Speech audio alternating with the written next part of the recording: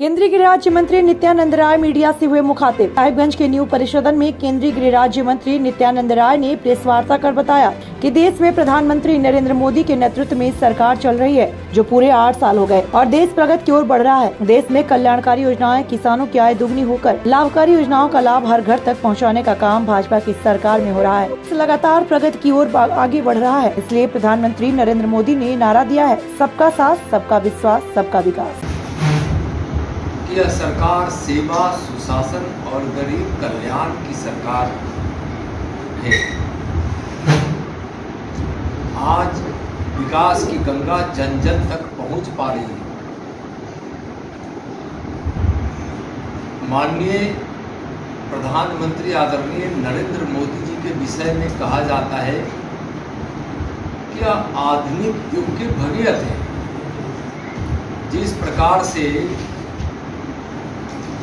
मानव कल्याण के लिए, मानव के जीवन में समृद्धि के लिए, सुख के लिए भगीरथ ने गंगा को इस धरती पर अवतरित कराया था। उसी प्रकार अपने भगीरथ प्रयास से माननीय मोदी जी विकास की गंगा को जन जन तक पहुँचा रहे आधुनिक युग के विश्वकर्मा हैं। देश के लोकप्रिय प्रधानमंत्री आदरणीय आप सब जानते हैं, कि किस प्रकार से भारत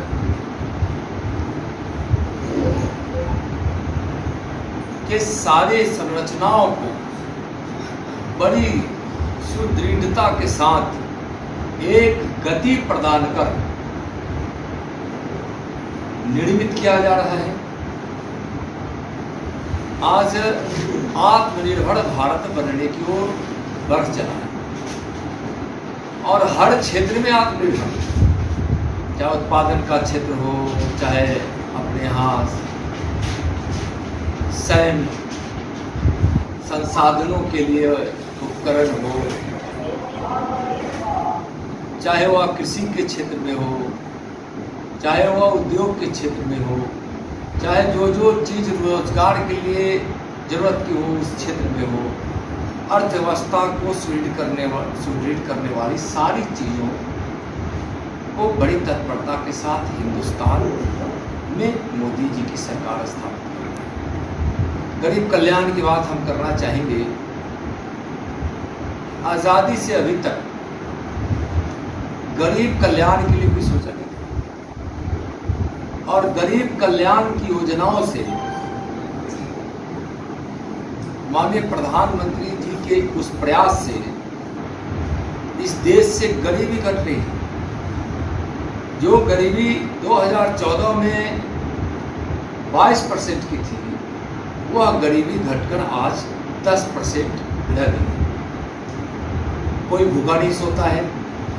अगर किसी गरीब के घर में कोई बीमार पड़ जाए तो प्रधानमंत्री आयुष्मान योजना के माध्यम से आज गरीबों का इलाज होता है। आज गरीबों के पास जनधन खाता है, गैस कनेक्शन है, और आज मुफ़्त, निशुल्क अनाज आज गरीबों के घर में पहुँच रहा है। लगभग 80 करोड़ लोगों को यह प्रधानमंत्री साहिबगंज झारखंड से सहिंद प्रसाद।